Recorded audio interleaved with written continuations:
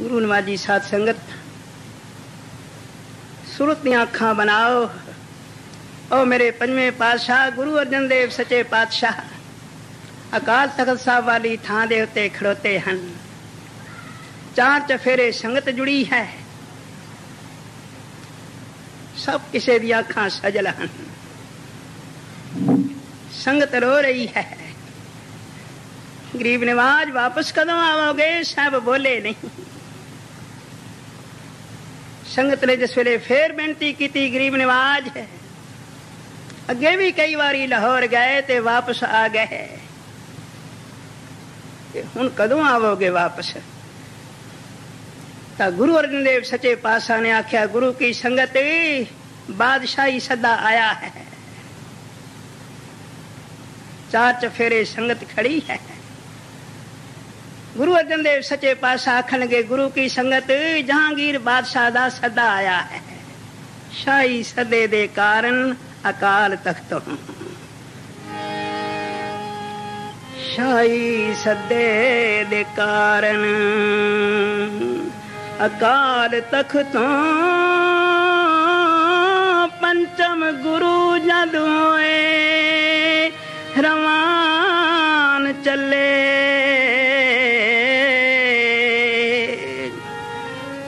ਅੰਤਮ ਸਮਝ ਦਰਸ਼ਨ ਸਿੱਖਾਂ ਸੰਗਤਾਂ ਦੇ ਨੈਣੋ ਪ੍ਰੇਮ ਦੇ ਹੰਝੂ ਮਹਾਨ ਚੱਲੇ। ਸੰਗਤ ਰੋ ਰਹੀ ਹੈ। ਸਾਰੀ ਸੰਗਤ ਦੀਆਂ ਅੱਖਾਂ ਵਿੱਚੋਂ ਸਾਵਨ ਭਾਦੋਂ ਦੀ ਜੜੀ ਲੱਗ ਰਹੀ ਹੈ। ਕਿਤੇ ਪੰਜਵੇਂ ਪਾਸਾ ਦੀ ਅੱਖਾਂ ਵਿੱਚ ਵੀ ਆਂਸੂ ਆ ਜਾਂਦੇ ਤੇ ਧਰਤੀ ਤੇ ਆਕਾਸ਼ ਫਟ ਜਾਂਦੇ ਪਰ ਆਪ ਦੀ ਅੱਖਾਂ ਵਿੱਚੋਂ ਹੰਝੂ ਨਹੀਂ ਆਏ ਗੁਰੂ ਕੀ ਸੰਗਤ ਨਿਰੰਕਾਰ ਦੀ ਰਜ਼ਾ ਹੀ ਇਸੇ ਹੈ। ਕਿ ਅਸੀਂ ਭਾਣਾ ਮੰਨ ਕੇ ਤੇ ਲਾਹੌਰ ਜਾਣਾ ਤੇ ਜੋ ਕੁਝ ਉੱਥੇ ਹੋਣਾ ਉਹਨੂੰ ਸਹਿਣਾ ਤੇ ਬਾਬੇ ਬੁੱਢੇ ਨੇ ਸਾਰੀ ਗੱਲ ਪ੍ਰਗਟ ਕਰ ਦਿੱਤੀ ਸੀ ਕਿ ਸਾਹਿਬ ਦੇ ਆਖਰੀ ਦਰਸ਼ਨ ਹਨ।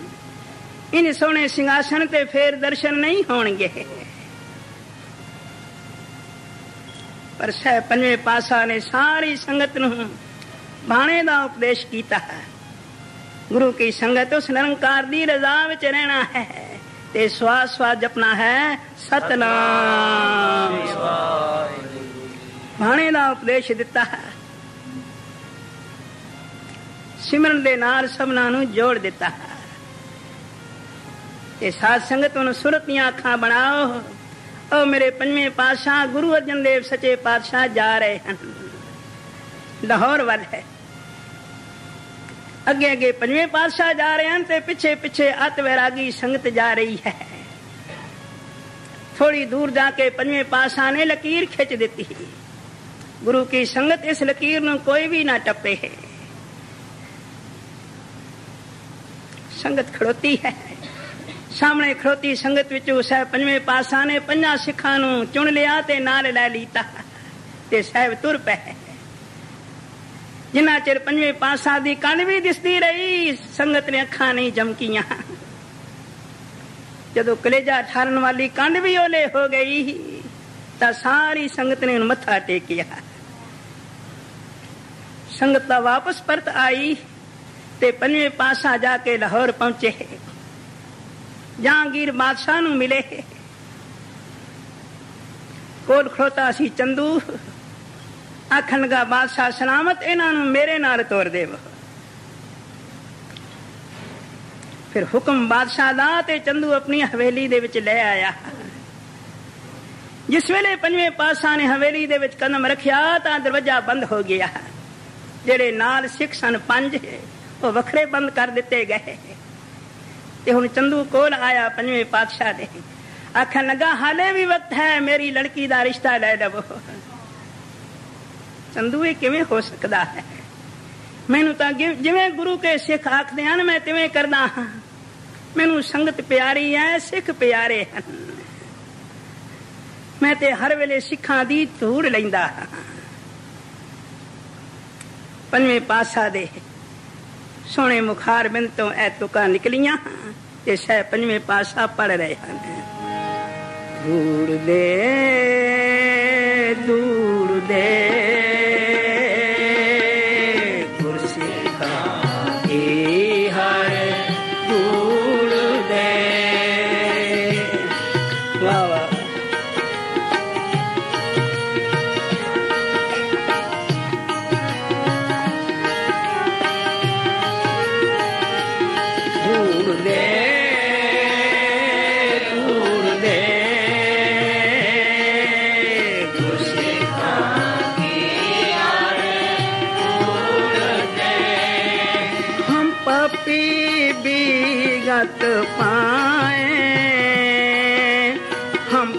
पपी बीगत पाए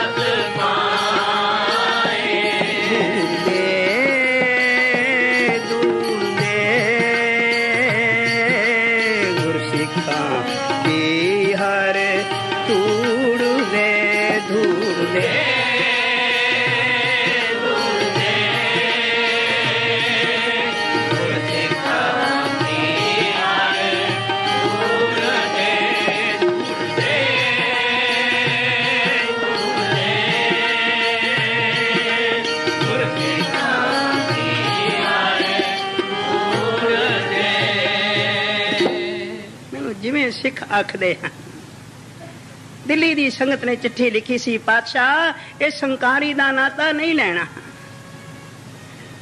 ਇਹ ਸੰਕਾਰੀ ਨੇ ਬੜੇ ਕਬੂਲ ਬੋਲੇ ਹਨ। ਗੁਰੂ ਨਾਨਕ ਦੇ ਘਰ ਨੂੰ ਮੋਰੀ ਤੇ ਆਪਣੇ ਆਪ ਨੂੰ ਚਵਾਰਾ, ਪਾਤਸ਼ਾਹ ਇਹ ਸੰਕਾਰੀ ਦਾ ਨਾਤਾ ਕਦੀ ਵੀ ਕਬੂਲ ਨਹੀਂ ਕਰਨਾ। ਚੰਦੂ, ਤੇ ਮੈਂ ਰਿਸ਼ਤਾ ਕਿਵੇਂ ਲੈ ਲਵਾਂ? ਚੰਦੂ ਨੇ ਆਖਿਆ, ਫਿਰ ਤੁਹਾਨੂੰ ਨਹੀਂ ਪਤਾ ਮੈਂ ਕੌਣ ਹਾਂ। ਮੈਂ ਜਹਾਂਗੀਰ ਬਾਦਸ਼ਾਹ ਦਾ ਦੀਵਾਨ ਹਾਂ। ਜੋ ਚਾਹਾਂ ਕਰ ਸਕਦਾ ਹਾਂ। ਤਾਂ ਸਾਹਿਬ ਨੇ ਆਖਿਆ ਭਲਾ ਭਾਈ ਜੋ ਤੇਰਾ ਜੀ ਕਰਦਾ ਹੈ, ਸੋ ਕਰ ਲੈ। ਫਿਰ ਚੰਦੂ ਨੇ ਪ੍ਰਬੰਧ ਤੇ ਅੱਗੇ ਹੀ ਕੀਤਾ ਹੋਇਆ ਸੀ। ਜਲਾਦਾ ਨੇ ਲੋਹ ਧਰ ਦਿੱਤੀ। ਹੇਠਾਂ ਅਠਮਨ ਲੱਕੜੀਆਂ ਬਲ ਰਹੀਆਂ ਹਨ। ਚੰਦੂ ਨੇ ਇੱਕ ਵਾਰੀ ਫੇਰ ਆਖਿਆ ਹਾਲੇ ਵੀ ਵਕਤ ਹੈ। ਇੱਕ ਪਾਸੇ ਮੇਰੀ ਲੜਕੀ ਦਾ ਰਿਸ਼ਤਾ ਹੈ ਤੇ ਇੱਕ ਪਾਸੇ ਤੱਤੀ ਲੋ ਹੈ। ਫਿਰ ਸਾਹਿਬ ਨੇ ਆਖਣ ਦੀ ਮੋਹਲਤ ਹੀ ਨਹੀਂ ਦਿੱਤੀ। ਸਾਹਿਬ ਪੰਜਵੇਂ ਪਾਸਾ ਨੇ ਤੱਤੀ ਲੋ ਦੇ ਉੱਤੇ ਚੌਕੜਾ ਮਾਰ ਲਿਆ ਤੇ ਸੁਖਮਨੀ ਦਾ ਪਾਠ ਆਰੰਭ ਕਰ ਲਿਆ। ਸੱਚੇ। ਹੇਠਾਂ ਲੱਕੜਾਂ ਬਲ ਰਹੀਆਂ ਹਨ। ਅੱਗ ਦੇ ਨਾਲ ਲਾਲ ਲੋ ਹੈ। ਪੰਜਵੇਂ ਪਾਸਾ ਚੌਕੜਾ ਮਾਰ ਕੇ ਬੈਠੀਆਂ ਨੇ ਤੇ ਮੂੰਹ ਸੁਖਮਨੀ ਦਾ ਪਾਠ ਕਰ ਰਹੇ ਹਨ ਸੁਖਮਨੀ ਸੁਖ ਅੰਮ੍ਰਿਤ ਪ੍ਰਭ ਨਾਮ ਭਗਤ ਜਨਾ ਕੈ ਮਨ ਬਿਸਰਾਮ ਫਿਰ ਵੇਖਦਿਆਂ ਵੇਖਦਿਆਂ ਪੰਜਵੇਂ ਪਾਸਾ ਦੇ ਸਾਰੇ ਸਰੀਰ ਦੇ ਉੱਤੇ ਛਾਲੇ ਹੀ ਛਾਲੇ ਪੈ ਗਏ ਚੰਦੂ ਤਾਂ ਚਲਾ ਗਿਆ ਜੇਠ ਦਾ ਮਹੀਨਾ ਗਰਮ ਪੌਣ ਚਲਦੀ ਧੁੱਪ ਤਿੱਖੇ ਬਾਣਾ ਨਾਲ ਸੀਨਾ ਸਲਦੀ ਜੇਠ ਦਾ ਮਹੀਨਾ ਗਰਮ ਪੌਣ ਚਲਦੀ ਧੁੱਪ ਤਿੱਖੇ ਬਾਣਾ ਨਾਲ ਸੀਨਾ ਸਲਦੀ ਜੇਠ ਦਾ ਮਹੀਨਾ ਗਰਮ ਪੌਣ ਚਲਦੀ ਧੁੱਪ ਤਿੱਖੇ ਬਾਣਾ ਨਾਲ ਸੀਨਾ ਸਲਦੀ ਜੇਠ ਦਾ ਮਹੀਨਾ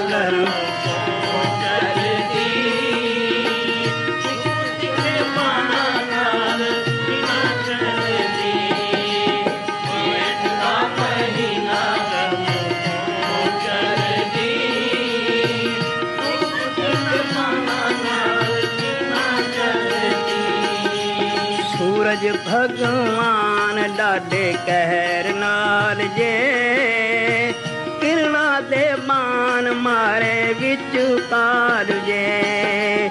ਸੂਰਜ ਭਗਵਾਨ ਲਾਡੇ ਕੈਰ ਨਾਲ ਜੇ। ਕਿਰਣਾ ਦੇ ਮਾਨ ਮਾਰੇ ਵਿੱਚ ਜੇ। ਮਾਤਾ ਭਾਨੀ ਜਾਇਆ ਮੇਰਾ ਗੁਰੂ ਪੰਜਵਾ। ਇਹ ਕਸ਼ਟ ਸਹਾਰ ਕੇ ਤੇ ਪਾਣਾ ਮੰਨਣਾ। ਮਾਤਾ ਭਾਨੀ ਜਾਇਆ ਮੇਰਾ ਗੁਰੂ ਪੰਜਵਾ ਇਹ ਕਸ਼ਟ ਸਹਾਰ ਕੇ ਪਾਣਾ ਮੰਨਣਾ ਸਾਰੇ ਸਰੀਰ ਤੇ ਛਾਲੇ ਹੀ ਛਾਲੇ ਪੈ ਗਏ ਹਨ ਚੰਦੂ ਫੇਰ ਆਇਆ ਸਾਹਮਣੇ ਆਣ ਖਲੋਤਾ ਤੇ ਆਖਣ ਲੱਗਾ ਹਾਲੇ ਵੀ ਵਕਤ ਹੈ ਮੇਰੀ ਲੜਕੀ ਦਾ ਰਿਸ਼ਤਾ ਲੈ ਲਵੋ ਹੁਣੇ ਸ਼ਾਹੀ ਤਬੀਬ ਆਣਗੇ ਤੇ ਮਲਮ ਪਟੀਆਂ ਕਰ ਦੇਣਗੇ ਪਰ ਸਾਹਿਬ ਨੇ ਤੱਕਿਆ ਹੀ ਨਹੀਂ, ਬੋਲੇ ਹੀ ਨਹੀਂ। ਪੰਜਵੇਂ ਪਾਸਾ ਸੁਖਮਨੀ ਪੜ ਰਹੇ ਹਨ। ਕਿਵੇਂ ਸਾਡੇ ਵਾਸਤੇ ਪੂਰਲੇ ਪਾਏ ਗੁਰੂ ਕੇ ਸਿੱਖੋ ਮੈਂ ਤਤੀ ਲੋਹ ਦੇ ਉੱਤੇ ਸੁਖਮਨੀ ਪੜਾਂਗਾ ਤੁਸੀਂ ਪੱਖੀਆਂ ਹੇਠਾਂ ਬੈਠ ਕੇ ਸੁਖਮਨੀ ਜ਼ਰੂਰ ਪੜਨੀ ਜਿਨ੍ਹਾਂ ਨੇ ਸੁਖਮਨੀ ਪੜੀ ਹੈ, ਉਹ ਵੱਡੇ ਭਾਗਾ ਵਾਲੇ ਹਨ। ਜਿਨ੍ਹਾਂ ਨੇ ਨਹੀਂ ਪੜੀ ਉਹ ਜਾ ਕੇ ਪੜ ਲੈਣੀ। ਸੁਖਮਨੀ ਮਨ ਨੂੰ ਸ਼ਾਂਤ ਕਰਦੀ ਹੈ। ਮਨ ਠੰਡਾ ਹੋ ਜਾਂਦਾ ਹੈ। ਸਾਧ ਸੰਗਤ ਉਚਾਰਨ ਕਰੋ ਸਤਨਾਮ ਸ੍ਰੀ ਚੰਦੂ ਆਖਣ ਲਗਾ, ਫਿਰ ਮੈਂ ਵੀ ਕਹਿਰ ਦੀ ਹੱਦ ਕਰ ਦੇਵਾਂਗਾ। ਇੱਕ ਪਠਿਆਰੇ ਨੂੰ ਸਦਿਆ ਆਖਣ ਲਗਾ, ਰੇਤ ਦੇ ਕੜਛੇ ਭਰ ਭਰ ਕੇ ਪੰਜਵੇਂ ਪਾਸਾ ਦੇ ਸੀਸ ਵਿੱਚ ਪਾਈ ਜਾ। ਸਰਦੀ ਬਲਦੀ ਲੋਹ ਦੇ ਉੱਤੇ ਬੈਠੇ ਹਨ। ਗਰਮ ਗਰਮ ਰੇਤ ਦੇ ਕੜਛੇ ਸੀਸ ਵਿੱਚ ਪੈ ਰਹੇ ਹਨ। ਤੇ ਪੰਜਵੇਂ ਪਾਸਾ ਮੂੰਹ ਕੀ ਪੜ ਰਹੇ ਹਨ? ਮੂੰਹ ਪੜਨ ਤੇਰਾ ਕੀਆ ਮਿੱਠਾ ਲਾਗੇ ਠਾ ਲੱਗੇ ਤੇਰਾ ਕੀਆ। ਮਿੱਠਾ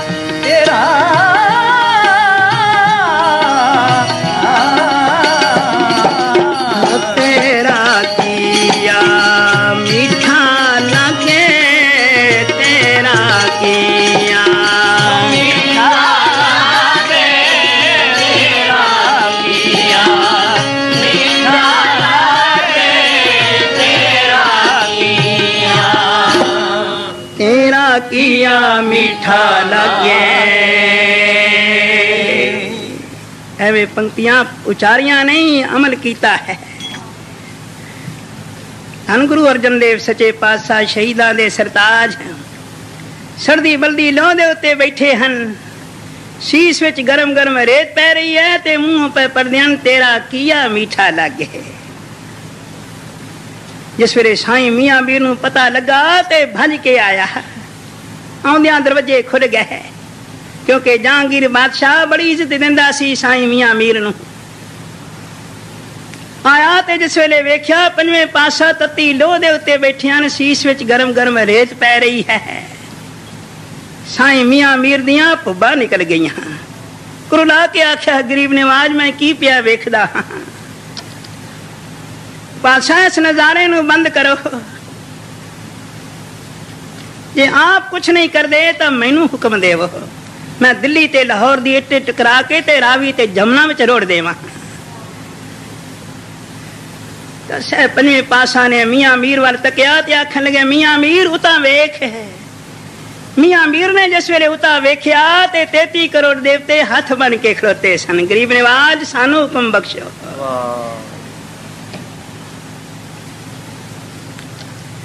ਜਿਸ ਵੇਲੇ ਮੀਆਂ ਮੀਰ ਨੇ ਨਜ਼ਾਰਾ ਵੇਖਿਆ ਤੇ ਫਿਰ ਸਹਿ ਪੰਜਵੇਂ ਪਾਸਾ ਵੱਲ ਤੱਕਿਆ ਤੇ ਪੰਜਵੇਂ ਪਾਸਾ ਪੈ ਪੜਦੇ ਹਨ ਕੀ ਤੇਰਾ ਕੀਆ ਮਿੱਠਾ ਲੱਗੇ ਤੇਰਾ ਕੀਆ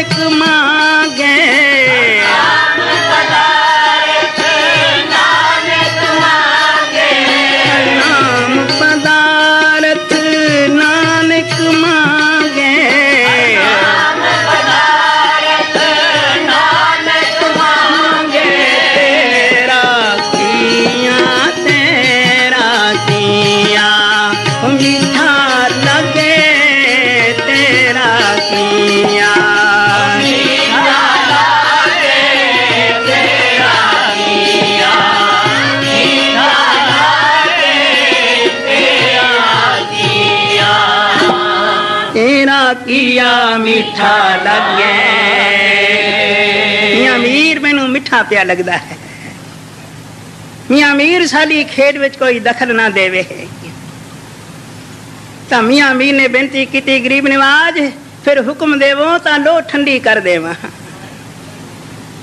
ਮੀਆਂ ਮੀਰ ਕਾਦੇ ਨਾਲ? ਪਾਤਸ਼ਾਹ ਤੇਰੀਆਂ ਬਖਸ਼ੀਆਂ ਸ਼ਕਤੀਆਂ ਹਨ। ਪੰਜਵੇਂ ਪਾਸਾ ਕਹਿਣਗੇ, ਮੀਆਂ ਮੀਰ ਸ਼ਕਤੀ ਦੀ ਕਿਹੜੀ ਲੋੜ ਹੈ? ਲੋ ਤੇ ਇੱਕ ਘੜੇ ਪਾਣੀ ਨਾਲ ਠੰਡੀ ਹੋ ਸਕਦੀ ਹੈ। ਗਰੀਬ ਨਿਵਾਜ, ਮੈਨੂੰ ਤਾਂ ਦੂਰੋਂ ਪਿਆ ਸੇਕ ਲੱਗਦਾ ਹੈ ਤੇ ਪੰਜਵੇਂ ਪਾਸਾ ਕਹਿਣ ਲੱਗੇ, ਮੀਆਂ ਮੀਰ, ਸਾਡੇ ਮਨ ਨੂੰ ਕੋਈ ਸੇਕ ਨਹੀਂ। ਤੇ ਮਨ ਨਾ ਡਿਗੇ, ਤਨ ਕਾਹੇ ਕੋ ਡਰਾਏ। ਚਰਨ ਕਮਲ ਚਿਤ ਰਿਆ ਸਮਾਏ। ਸਾਡਾ ਮਨ ਗੁਰੂ ਨਾਨਕ ਦੇ ਚਰਨਾਂ ਨਾਲ ਵਿਸਲੇ ਜੁੜ ਰਿਹਾ ਹੈ। ਸਾਨੂੰ ਕੋਈ ਸੇਕ ਨਹੀਂ। ਸਰੀਰ ਤੇ ਛਾਲੇ ਵੇਖ ਰਿਹਾ ਹੈ ਤੇ ਕੋਈ ਵੱਡੀ ਗੱਲ ਨਹੀਂ। ਸਰੀਰ ਨੂੰ ਖੇਦ ਹੈ। ਸਾਡੇ ਮਨ ਨੂੰ ਕੋਈ ਵੀ ਖੇਦ ਨਹੀਂ। ਗਰੀਬ ਰਿਵਾਜ ਮੈਨੂੰ ਤਾਂ ਦੂਰੋਂ ਪਿਆ ਸੇਕ ਲੱਗਦਾ ਹੈ। ਤਾਂ ਪੰਜਵੇਂ ਪਾਸਾ ਕਹਿਣ ਲੱਗੇ, ਮੀਆਂ ਮੀਰ, ਆਵੇ ਕੌਣ ਆ ਰਿਹਾ ਹੈ? ਇਹ ਕੌਣ ਹੈ? ਚੰਦੂ ਦੀ ਨੋ ਹੈ। ਜੋ ਸਿੱਖ ਘਰਾਣੇ ਦੀ ਲੜਕੀ ਹੈ। ਮੂੰਹ ਤੇ ਪੱਲਾ ਹੈ। ਹੱਥ ਵਿੱਚ ਚੂਰੀ ਦਾ ਛੰਨਾ ਹੈ। ਗਹਿਣਿਆਂ ਦੀ ਪੋਟਲੀ ਹੈ। ਪਹਿਰੇਦਾਰ ਨੇ ਠਾਕਿਆ ਤਾਂ ਗਹਿਣਿਆਂ ਦੀ ਪੋਟਲੀ ਹੱਥ ਫੜਾਈ ਅੰਦਰ ਚਲੀ ਗਈ। ਅੰਦਰ ਗਈ ਤੇ ਪੰਜਵੇਂ ਪਾਸਾ ਦੇ ਚੰਨਾਂ ਤੇ ਜਾ ਕੇ ਸਿਰ ਰੱਖ ਦਿੱਤਾ। ਮੀਆਂ ਮੀਰ ਤੈਨੂੰ ਦੂਰੋਂ ਪਿਆ ਸੇਕ ਲੱਗਦਾ ਹੈ ਇਸ ਨੂੰ ਕੋਈ ਸੇਕ ਨਹੀਂ ਕਿਉਂਕਿ ਸੁਖਮਨੀ ਪੜਦੀ ਹੈ। ਸੁਖਮਨੀ।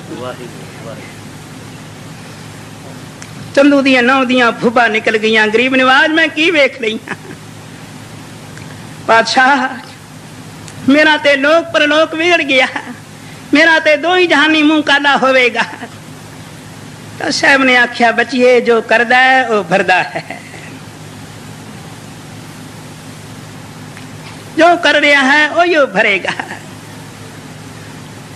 ਤਾਂ ਚੰਦੂ ਦੀ ਨੌ ਨੇ ਫਿਰ ਬੇਨਤੀ ਕੀਤੀ ਗਰੀਬ ਨਿਵਾਜ ਮੈਨੂੰ ਇਸ ਘਰ ਵਿੱਚ ਕਿਉਂ ਗਲਿਆ ਜੇ ਇਹ ਪਾਪੀਆਂ ਦਾ ਘਰ ਹੈ ਮੈਨੂੰ ਕਿੱਥੇ ਆ ਕੇ ਰੱਖਿਆ ਜੇ ਤਾਂ ਸਹਿ ਪੰਜਵੇਂ ਪਾਸਾ ਕਹਿਣ ਲੱਗੇ ਬੱਚੀਏ ਸਾਡੀ ਹੁਣ ਤਿਆਰੀ ਹੈ। ਥੋੜਾ ਸਮਾਂ ਹੋ ਰਿਹਾ ਹੈ। ਸਾਡੀ ਹੁਣ ਦਰਗਾਹ ਨੂੰ ਤਿਆਰੀ ਹੈ। ਤਾਂ ਚੰਦੂ ਦੀ ਨੌ ਨੇ ਬੇਨਤੀ ਕੀਤੀ, ਗਰੀਬ ਨਿਵਾਜ, ਮੈਨੂੰ ਇਸ ਘਰ ਵਿੱਚ ਛੱਡ ਕੇ ਨਾ ਜਾਣਾ, ਮੈਨੂੰ ਨਾਲ ਲੈ ਕੇ ਜਾਣਾ। ਅੱਛਾ ਬੱਚੀਏ ਜਾ ਤਿਆਰੀ ਕਰ।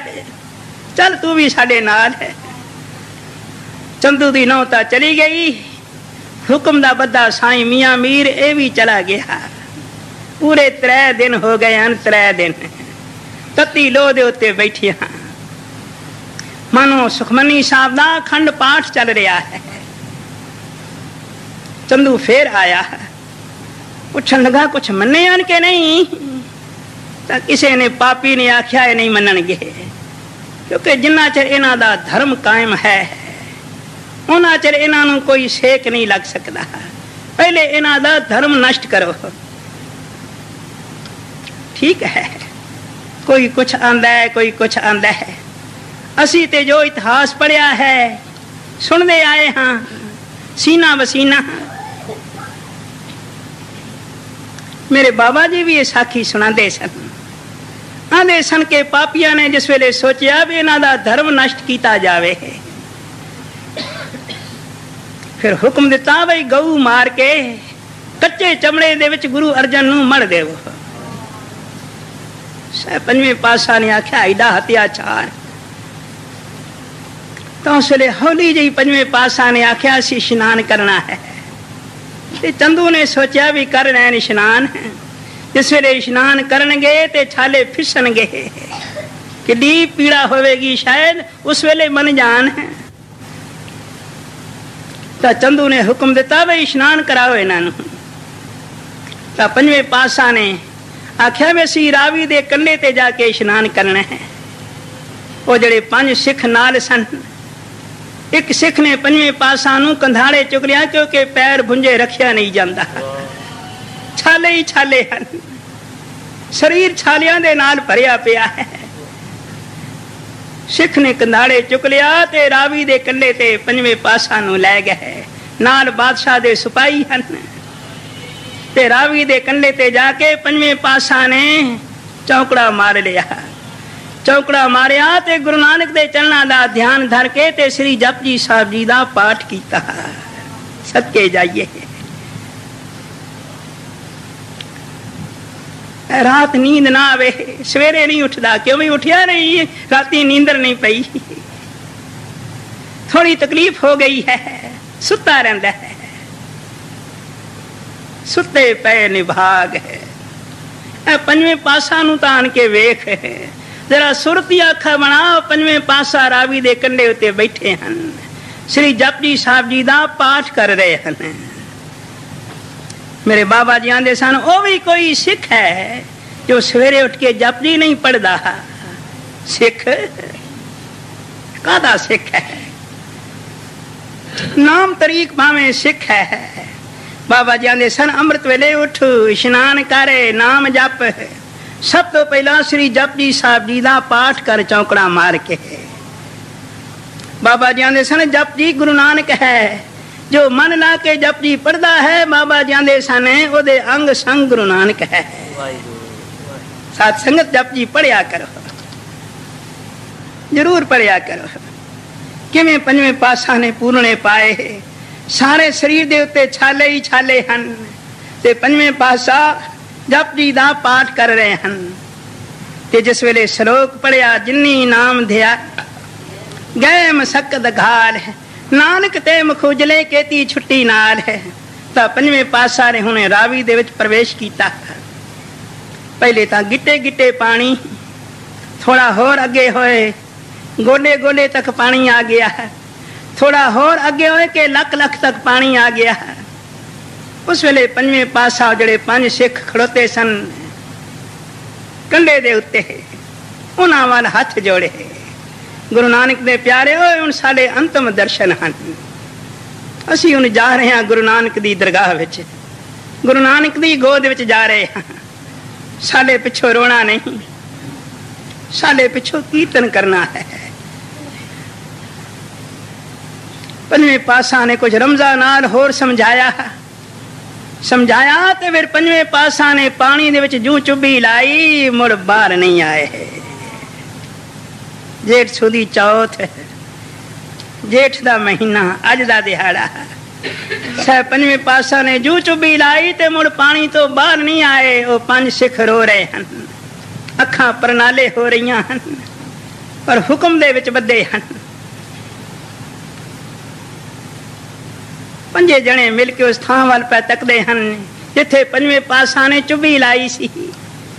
ਤੇ ਨਾਲੇ ਅੱਖਾਂ ਵਸ ਰਹੀਆਂ ਹਨ। ਤੇ ਰੋਮ ਰੋਮ ਦੇ ਵਿੱਚੋਂ ਇੱਕ ਧੁਨ ਨਿਕਲ ਰਹੀ ਹੈ। ਕਿਹੜੀ? ਖੁਲਿਆ ਕਰਮ ਕਿਰਪਾ ਬੈਠਾ ਕਰੇ ਕੀਰਤਨ ਹਰ ਹਰ ਗਾਈ ਖੁਲਿਆ ਕਰਮ ਕਿਰਪਾ ਬੈਠਾ ਕਰ ਕੀਰਤਨ ਹਰੇ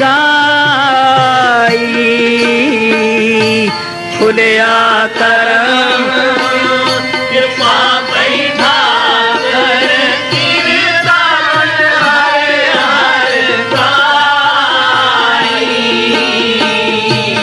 ਖੁਲਿਆ ਕਰਮ ਕਿਰਪਾ ਬੈਠਾ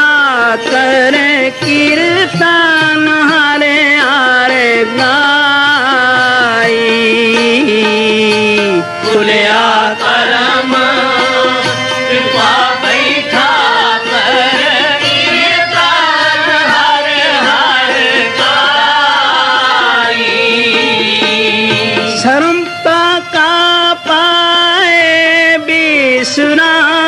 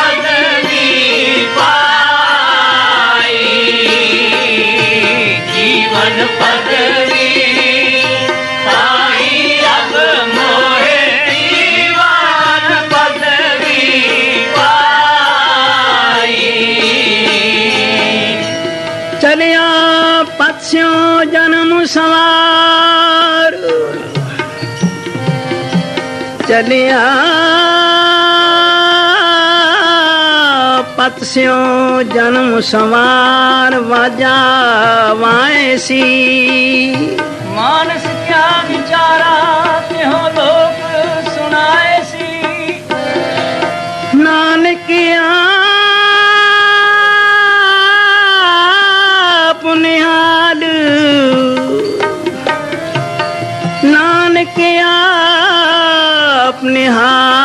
ਹਾਲ ਸਭ ਕੁਲ ਤਰਸੀ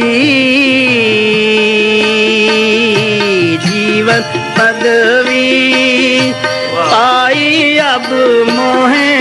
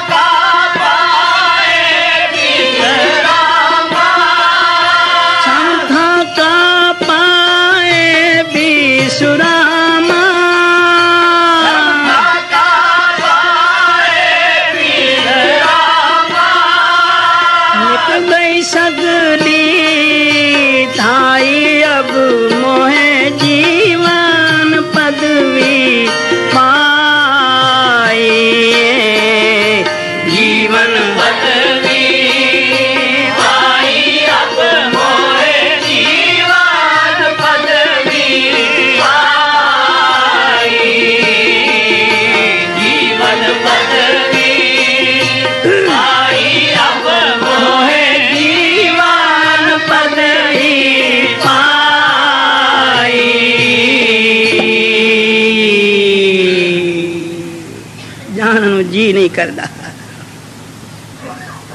ਪੰਜਾਂ ਸਿੱਖਾਂ ਦੀਆਂ ਅੱਖਾਂ ਪ੍ਰਨਾਲੇ ਹੋ ਰਹੀਆਂ ਹਨ।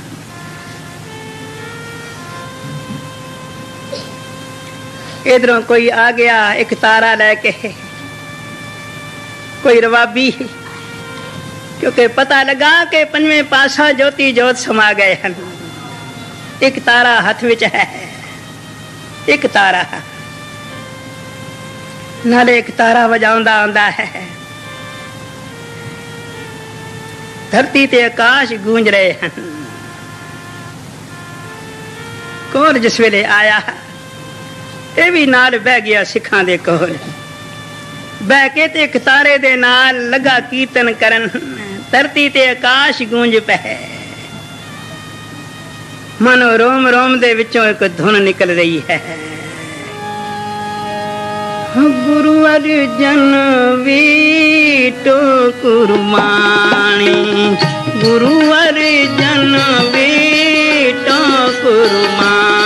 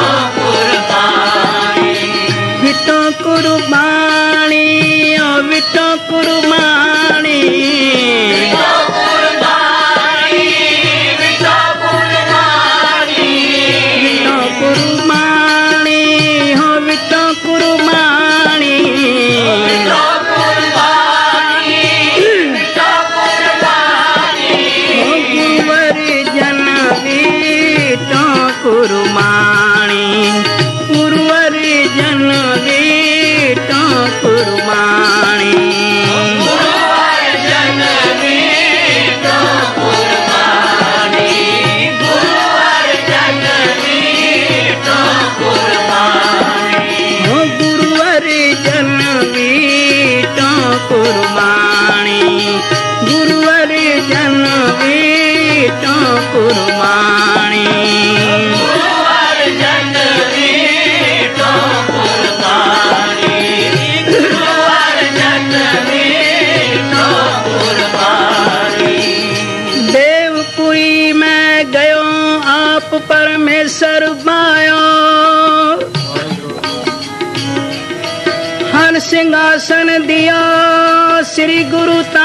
ਬਿਠਾਇਆ।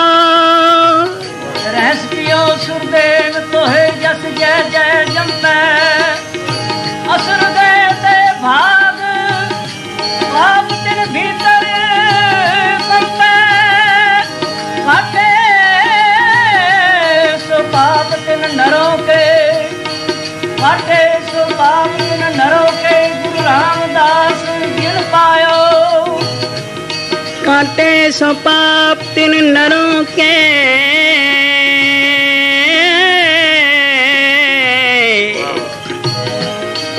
ਗੁਰੂ ਰਾਮਦਾਸ ਜਿਨ ਪਾਇਓ,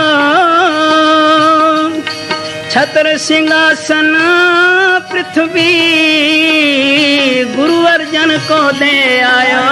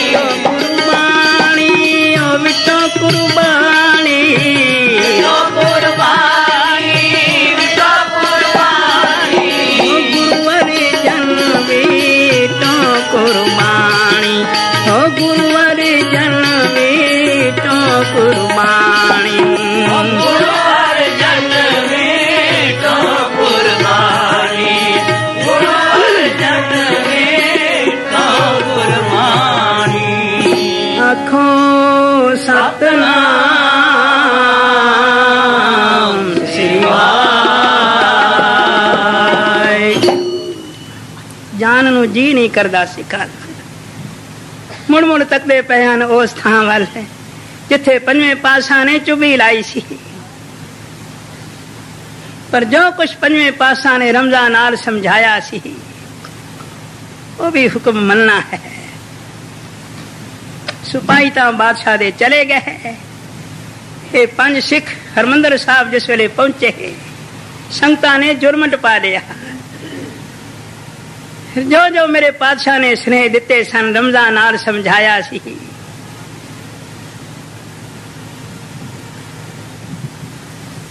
ਮੇਰੀ ਪੀਰੀ ਦੀਆਂ ਦੋ ਤਲਵਾਰਾਂ ਪਹਿਨਾਉਣੀਆਂ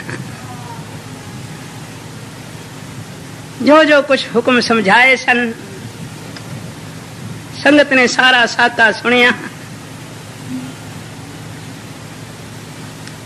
ਉਹ ਮੇਰੀ ਪੀਰੀ ਦੇ ਮਾਲਕ ਗੁਰੂ ਹਰਗੋਬਿੰਦ ਸਾਹਿਬ ਸੱਚੇ ਪਾਤਸ਼ਾਹ ਜਿਨ੍ਹਾਂ ਦਾ ਗੁਰਪੁਰਬ ਆ ਰਿਹਾ ਹੈ 14 ਜੂਨ ਨੂੰ। 13 ਜੂਨ ਨੂੰ ਪੂਰਨਮਾਸ਼ੀ ਦਾ ਸੁਭਾਗ ਦਿਨ ਹੈ। 14 ਤਰੀਕ ਨੂੰ ਗੁਰੂ ਹਰਗੋਬਿੰਦ ਸਾਹਿਬ ਸੱਚੇ ਪਾਤਸ਼ਾਹ ਦਾ ਆਗਮਨ ਪੁਰਬ ਹੈ ਤੇ 15 ਤਰੀਕ ਨੂੰ ਹਾੜ ਦੀ ਭਾਗੇ ਭਰੀ ਸੰਗਰਾਂਦ ਹੈ। ਇਹ ਤਿੰਨੇ ਦਿਨ ਇੱਥੇ ਮਨਾਏ ਜਾਣਗੇ। ਤੇ 14 ਤਰੀਕ ਨੂੰ ਮਿਸੀਆਂ ਰੋਟੀਆਂ, ਮੱਖਣ, ਦਹੀਂ, ਲੱਸੀ। ਦਹੀਂ ਦੀ ਲੱਸੀ ਦਾ ਲੰਗਰ ਚੱਲੇਗਾ। ਉਹ ਵੀ ਜ਼ਿਕਰ ਕਰਾਂਗਾ, ਕਿਵੇਂ ਮਾਤਾ ਗੰਗਾ ਜੀ ਬਾਬੇ ਬੁੱਢੇ ਦੇ ਕੋਲ ਗਏ ਸਨ ਵਰਦਾਨ ਲੈਣ ਵਾਸਤੇ। ਪਰ ਸ਼ਰਾਪ ਲੈ ਕੇ ਆਏ ਸਨ ਕਿ ਗੁਰੂ ਕਿਆਂ ਨੂੰ ਕਾਦੀ ਭਾਜੜ ਪੈ ਗਈ। ਨਿਰਾਸ਼ ਹੋ ਕੇ ਆਏ। ਤਾਂ ਪੰਜਵੇਂ ਪਾਸਾ ਨੇ ਸਮਝਾਇਆ, ਗੰਗਾ ਜੀ ਇੰਜ ਨਹੀਂ ਜਾਈਦਾ ਨੰਗੀ ਪੈਰੀ ਜਾਣਾ ਸੀ। ਸਿਰ ਤੇ ਆਪ ਪ੍ਰਸ਼ਾਦੇ ਚੁਕਣੇ ਸਨ। ਇਹ ਸਾਰਾ ਜ਼ਿਕਰ 14 ਤਰੀਕ ਨੂੰ ਕਰਾਂਗਾ। ਪਰ ਗੁਰੂ ਕੀ ਸੰਗ ਅੱਜ ਤੇ ਉਹ ਦਿਨ ਹੈ ਜਿਸ ਦਿਨ ਮੇਰੇ ਪੰਜਵੇਂ ਪਾਤਸ਼ਾਹ ਜੋਤੀ ਜੋਤ ਸਮਾਏ ਸਾਡੇ ਵਾਸਤੇ ਪੂਰਣੇ ਪਾ ਗਏ ਗੁਰੂ ਕੀ ਸੰਗਤ, ਅੱਜ ਸੁਖਮਨੀ ਜ਼ਰੂਰ ਪੜਨੀ ਨਹੀਂ ਪੜ ਸਕਦੇ ਤਾਂ ਸਾਰੀ ਸੁਖਮਨੀ ਦਾ ਪਾਠ ਸੁਣ ਲੈਣਾ। ਜ਼ਰੂਰ ਸੁਣਨਾ। ਬਾਬਾ ਜੀ ਨੂੰ ਸੁਖਮਨੀ ਬੜੀ ਪਿਆਰੀ ਸੀ। ਬਾਬਾ ਜੀ ਦੇ ਸਮੇਂ ਤੋਂ ਅੱਜ ਤੱਕ ਠਾਠ ਦੇ ਉੱਤੇ ਸੁਖਮਨੀ ਸਾਹਿਬ ਜੀ ਦਾ ਪਾਠ ਚੱਲ ਰਿਹਾ ਹੈ। ਭੋਗ ਪਿਆ ਹੀ ਨਹੀਂ। ਪੌਣੇ 5 ਸਾਲ ਤੇ ਮੈਂ ਦੇਖਿਆ ਹੈ, ਉਹ ਬਾਬਾ ਕਿਰਪਾਲ ਸਿੰਘ ਸੁਖਮਨੀਆਂ। ਜਿਸ ਦਾ ਨਾਮ ਹੀ ਬਾਬਾ ਜੀ ਨੇ ਸੁਖਮਨੀਆਂ ਪਾ ਦਿੱਤਾ ਸੀ। 12 12 ਘੰਟੇ 14 14 ਘੰਟੇ ਵੀ ਮੈਂ ਅੱਖੀ ਡਿਠਾ ਹੈ ਕਿ ਬਾਬਾ ਕਿਰਪਾਲ ਸਿੰਘ ਸੁਖਮਨੀ ਪੜਦਾ ਸੀ। ਇਸ ਵਾਸਤੇ ਉਹਦਾ ਨਾਮ ਹੀ ਸੁਖਮਨੀਆਂ ਪਾ ਦਿੱਤਾ। ਜਦੋਂ ਬੁਲਾਉਂਦੇ ਸਨ, ਆ ਬਈ ਸੁਖਮਨੀਆਂ, ਕਿਵੇਂ ਆਇਆ ਹੈ? ਸਾਧ ਸੰਗਤ, ਅੱਜ ਸੁਖਮਨੀ ਜ਼ਰੂਰ ਪੜਨੀ ਨਹੀਂ ਪੜ ਸਕਦੇ ਤਾਂ ਜ਼ਰੂਰ ਸੁਣ ਲੈਣੀ ਸੁਖਮਨੀ। ਅੰਮ੍ਰਿਤ ਵੇਲੇ ਉਠੋ, ਇਸ਼ਨਾਨ ਕਰੋ, ਨਾਮ ਜਪੋ। ਸਭ ਤੋਂ ਪਹਿਲਾਂ ਜਪ ਜੀ ਜ਼ਰੂਰ ਪੜਿਆ ਕਰੋ। ਆਪਣੇ ਬੱਚਿਆਂ ਨੂੰ ਵੀ ਸਮਝਾਓ ਬਈ ਜਪ ਜੀ ਪੜਿਆ ਕਰੋ। ਰੋਟੀ ਤਾਂ ਦੇਵੋ ਬੱਚਿਆਂ ਨੂੰ ਜੇ ਜਪ ਜੀ ਪੜਨ ਤੇ। ਬੱਚਿਆਂ ਨੂੰ ਕਿਵੇਂ ਪਤਾ ਲੱਗੇਗਾ? ਕੋਈ ਘਾਸੀ ਪਾਓਗੇ ਨਾ ਕਿਸੇ ਗੱਲ ਦੀ? ਭਈ ਰੋਟੀ ਤਾਂ ਮਿਲੇਗੀ ਜੇ ਜਪ ਜੀ ਪੜੋਗੇ ਤੇ। ਆਪ ਵੀ ਜਪ ਜੀ ਪੜੋ ਬੱਚਿਆਂ ਨੂੰ ਵੀ ਪੜਾਓ ਕਿਉਂਕਿ ਜਪ ਜੀ ਗੁਰੂ ਨਾਨਕ ਹੈ। ਜੋ ਕੋਈ ਮਨ ਲਾ ਕੇ ਜਪ ਜੀ ਪੜਦਾ ਹੈ, ਉਹਦੇ ਅੰਗ ਸੰਗ ਗੁਰੂ ਨਾਨਕ ਹੋ ਜਾਂਦਾ ਹੈ। ਤੇ ਜਿਹਦੇ ਅੰਗ ਸੰਗ ਗੁਰੂ ਨਾਨਕ ਹੋਵੇ, ਉਹਦਾ ਕੋਈ ਵਾਲ ਵੀ ਵਿੰਗਾ ਨਹੀਂ ਹੋ ਸਕਦਾ। ਗੁਰੂ ਨਾਨਕ ਦੇ ਪਿਆਰਿਓ, ਤੁਸੀਂ ਧੰਨ ਹੋ। ਕਿੰਨੀ ਗਰਮੀ ਪੈ ਰਹੀ ਹੈ। ਕੱਲ ਤੇ ਬੜੀ ਗਰਮੀ ਸੀ। ਤੇ ਧੰਨ ਗੁਰੂ ਅਰਜਨ ਦੇਵ ਸੱਚੇ ਪਾਤਸ਼ਾਹ। ਜਦੋਂ ਤਤੀ ਲੋ ਤੇ ਬੈਠੇ ਸਨ ਤੇ ਬੱਦਲ ਆ ਗਏ। ਬਦਲਾ ਨੇ ਸੋਚਿਆ ਵੀ ਛਾਂ ਕਰ ਦਈਏ। ਤਾਂ ਪੰਜਵੇਂ ਪਾਸਾ ਕਹਿਣ ਲੱਗੇ, ਬਦਲਾ ਨੂੰ ਵੀ ਜਾਓ, ਚਲੇ ਜਾਓ। ਸੂਰਜ ਨੂੰ ਵੀ ਹੁਕਮ ਕੀਤਾ ਵੀ ਜਿੰਨਾ ਤਪ ਸਕਣਾ ਤਪ ਵਾਹ ਵਾਹ। ਜੇ ਸੁਖ ਦੇ ਤਾਂ ਤੁਝੇ ਅਰਾਧੀ ਦੁੱਖ ਵੀ ਤੁਝੇ ਧਿਆਈ ਬਾਬਾ ਜੀ ਆਂਦੇ ਸਨ, ਦੁੱਖਾਂ ਵਿੱਚ ਵੀ ਜਪ ਤੇ ਸੁੱਖਾਂ ਵਿੱਚ ਵੀ ਜਪ। ਦੁੱਖਾਂ ਵਿੱਚ ਜਪੇਗਾ, ਤੇਰੇ ਦੁੱਖ ਘਟ ਜਾਣਗੇ। ਸੁੱਖਾਂ ਵਿੱਚ ਜਪੇਗਾ, ਤੇਰੇ ਸੁੱਖ ਹੋਰ ਵੱਧ ਜਾਣਗੇ। ਸ਼ੁਕਰਾਨਾ ਕਰਿਆ ਕਰੋ ਮਾਲਕ ਦਾ। ਜਿਸ ਵਾਹਿਗੁਰੂ ਨੇ ਕਿੰਨੇ ਸੁੱਖ ਦਿੱਤੇ ਹਨ। ਉਹਦਾ ਸ਼ੁਕਰਾਨਾ ਨਹੀਂ ਕਰੋਗੇ। ਸ਼ੁਕਰਾਨਾ ਕਿਵੇਂ ਕਰੀਏ? ਅੰਮ੍ਰਿਤ ਵੇਲੇ ਉਠੀਏ, ਇਸ਼ਨਾਨ ਕਰੀਏ, ਨਾਮ ਜਪੀਏ। ਨਾਮ ਜਪਦੇ ਕੀਰਤਨ ਸਤ ਸੰਗ ਵਿੱਚ ਆਈਏ। ਕੀਰਤਨ ਵਿੱਚ ਮਨ ਜੋੜੀਏ। ਇਨੀ ਤੁਹਾਡਾ ਲੋਕ ਵੀ ਸੁਖੀ ਤੇ ਪ੍ਰਲੋਕ ਵੀ ਸੁਹਿਲਾ ਕੀਰਤਨ ਸਮਾਪਤੀ ਹੈ। ਫੁੱਲਾਂ ਚੁਕਾ ਦੀ ਮਾਫੀ। ਆਓ ਪੌੜੀ ਲੱਗੇ। हर जुग जुग भगत उपाया।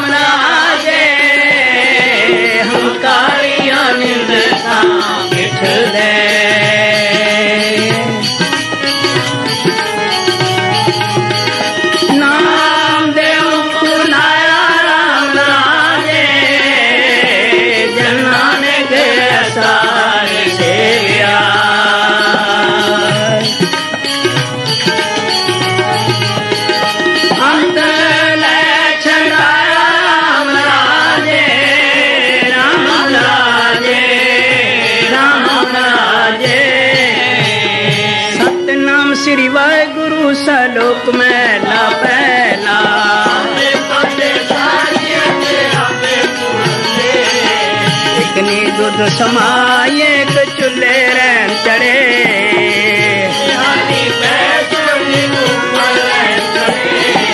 ਕਿਨਾ ਸਵਾਰੇ ਨਾਨਕਾ ਜਿਨ ਕੋ ਨਦਰ ਕਰੇ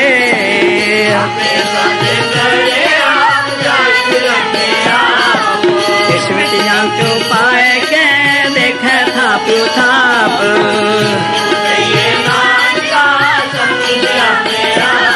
ਪਾਏ ਕੇ ਦੇਖੈ ਥਾਪ ਥਾਪ ਪੌੜੀ ਵੜੇ ਕੀਆਂ ਵਡਿਆਈਆਂ ਕੁਛ ਕਹਿਣਾ ਕਹਿ ਨ ਜਾਏ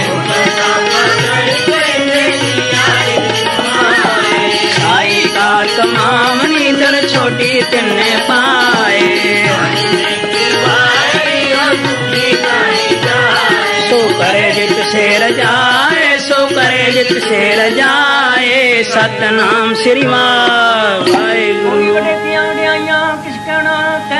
ਨਾ ਜਾਏ, ਸੋ ਕਰਤਾ ਕਾਦਰ ਕਰੀਮ ਦੇ ਜੀਆਂ ਰਿਜਕ ਸੰਦਾਏ ਸਾਈ ਕਾਰ ਤਮਾਮ ਨੀ ਦਰ ਛੋਡੀ ਤਿੰਨੇ ਪਾਏ। ਨਾਨਕ ਏਤੀ ਬਾਹਰੀ, ਹੋਰ ਦੂਜੀ ਨਾਈ ਜਾਏ। ਸੋ ਕਰੇ ਜਿਤ ਸੇ ਰਜਾਏ ਸੁਧ ਸੋ ਕਰੇ ਜਿਤ ਸੇ ਰਜਾਏ। ਨਾਮ ਕਲੀ ਮਹਿਲਾ ਤੀਜਾ ਨੰਦ ਏਕ ਓੰਕਾਰ ਸਤਿਗੁਰ ਪ੍ਰਸਾਦ ਆਨੰਦ ਭਇਆ ਮੇਰੀ ਮਾਏ ਸਤਿਗੁਰੂ ਮੈਂ ਪਾਇਆ ਪਾਇਆ ਸਹਿਜ ਜੀ ਮਨ ਦੀਆਂ ਵਧਾਈਆਂ ਸਾਗਰ ਕਰ ਪਰਵਾਰ ਪਰੀਆਂ ਸ਼ਬਦ ਗਾਵਣਿਆ ਆਈਆਂ ਹਰੀ ਤੇਰਾ ਮਨ ਦੀ ਵਸਾਇਆ ਐ ਨਾਨਕ ਅੰਦੋ ਸਤਿਗੁਰੂ ਮੈਂ ਪਾਇਆ ਏ ਮਨ ਮੇਰਿਆ ਤੂੰ ਸਦਾ ਰਹੁ ਹਰ ਨਾਲੇ ਨਾ ਲੋ ਤੂੰ ਮਨ ਮੇਰੇ ਦੁੱਖ ਸਭ ਵਿਸਾਰਨਾ। ਅਨੇਕਾ ਲੋਕਨੇ ਤੇਰਾ ਕਾਲ ਸਭ ਸਵਾਰਨਾ। ਸਮਨਾ ਕਲਾ ਸਿਮਰਤ ਸੁਆਮੀ ਸੋ ਮਨੋ ਵਿਸਾਰੇ। ਏ ਨਾਨਕ ਮਨ ਮੇਰੇ ਸਦਾ ਰਹੁ ਹਰ। ਨਾਲੇ ਸਾਚੇ ਸਾਹਿਬਾ ਚਾਨੀ ਗਤੇਰੇ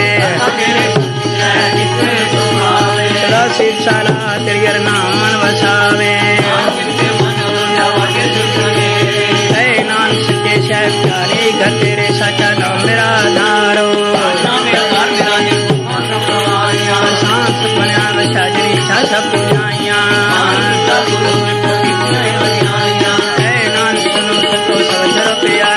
ਨਾਮ ਮੇਰਾ ਧਾਰੋ। ਵਾਜੇ ਪੰਜ ਸ਼ਬਦ ਦਰਗਾਹ ਵਾਜੇ